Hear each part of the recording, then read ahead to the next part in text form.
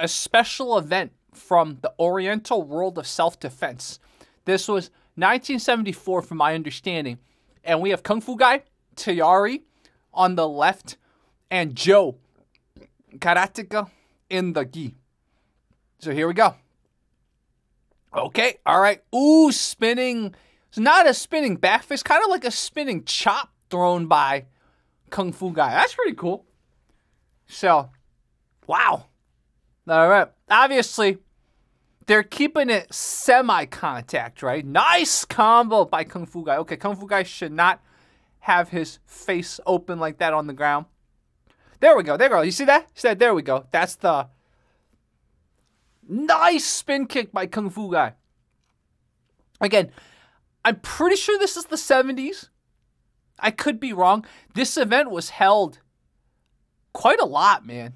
So, so funny that this makes jujitsu people really, really happy, right? Because it keeps ending up on the ground where the jiu-jitsu people were like, yeah, but I would have dominated if it stayed on the ground. So, mm, let's see. Both low stances, right? You would associate that with two styles. That cracks stances. Nice little step inside kick. Okay, Kung Fu guy anticipated and had a little spin kick that both of them ended up on the ground. It almost looked like Kung Fu Guy figured out an armbar from there. So, okay, wrong range by Kung Fu Guy. He just got stomped on the head. Huh. Karate I think, is bigger. I don't know if it's bigger or just his gi makes him look bigger. I think he's bigger. So, nice. Kung Fu Guy moving a little bit like Bruce Lee. Oh, that was a cool kick. That was a cool kick. Look at that. He even has almost like a like like a technical stand-up guard, right? That jiu-jitsu people practice.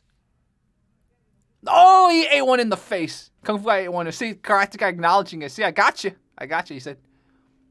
So, this is really cool. This is so cool. Nice combo by Kung Fu guy. Unfortunately, there was a close-up. We didn't see what part he connected. So he got hit in the shoulder. By the way, he just fell. That was not a knockdown. So this is so cool. By the way, you guys have to go subscribe to Martial Arts History Channel. This is where I found it. So I will link it in the description. So you guys let us know who you thought won.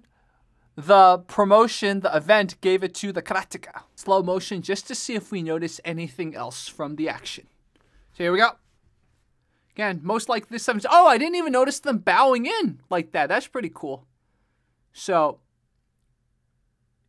so okay, the first strike ever thrown was by Karateka, right? He led with a roundhouse kick and then eventually got sort of tangled. Okay, so it's cool. I missed the bow thing at the beginning. So now, sort of, once you get hit, right? Kind of, you know what each other's made of. So I think Karateka actually pulled that kick, man. That kick might have been able to connect. So, yeah, I get now watching a slow motion why they gave it to Karateka. So, um, that was a great spinning hook kick, though. That was awesome. So that was probably one of the best moments from Kung Fu Guy. And a little bit of posturing, right? That was a great leg kick, and he actually ducked the spinning chop or whatever, spinning back chop, whatever you call it, judo chop, right? So Kung Fu Guy learned from that first time where he ate that spinning chop. See again, Karateka tried again. So, oh, I love watching it in slow motion. We do catch a lot more, right? Um, let's see. It's so funny to see a bladed stance. A bladed stance where almost part of the one of the butts is facing them, right? So the Kung Fu guy, that's where we saw he almost stumbled on an armbar, right? He timed another good spin kick, but this time the energy of the exchange was different. The momentum, maybe is the right word. Momentum? Yeah, momentum. So it ended up with Kung Fu Guy on the ground, and then Kung Fu Guy ended up on the ground again, but got. I, I don't think Karateka stomped completely on his head, more like just, hey, look, I could have stomped you.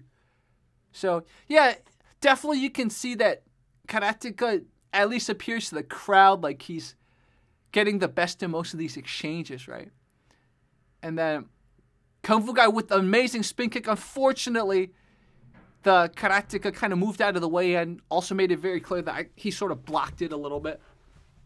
Parried it, maybe it's the right word.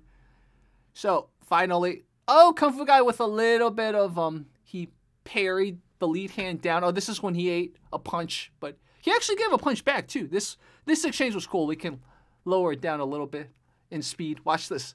So he definitely eats a punch right here, right? He needs it. See, but he he hits back, but unfortunately, it doesn't have the same power.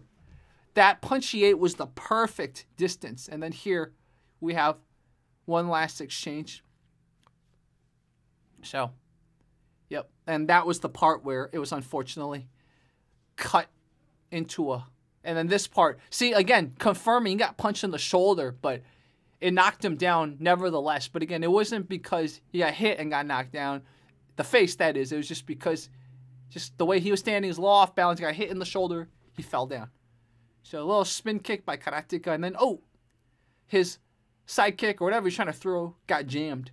So yeah, I agree. Should have gone to Karateka. Kung Fu Guy had some moments, but Karateka, I think, was more dominant in most of the fight make sure to press a like, make sure to press subscribe, and make sure to leave a comment. Guys, let the YouTube algorithm know that my channel's cool. The algorithm's changed in case you guys don't know. So if you look at my past videos, it's not doing well, and that's fine. Every time the algorithm changes, it's a net positive because my recommendations get better. I found this clip because from one recommendation to another, it ended up leading to some treasure, a martial arts treasure. So if a YouTube algorithm change only temporarily affects my channel, but in the long run it makes this type of content able to be found and makes me able to feature it, then that's good. So YouTube, do your thing, man, but please get my channel back, please. All right, guys, talk to you soon, man. A lot more to come. Bye-bye.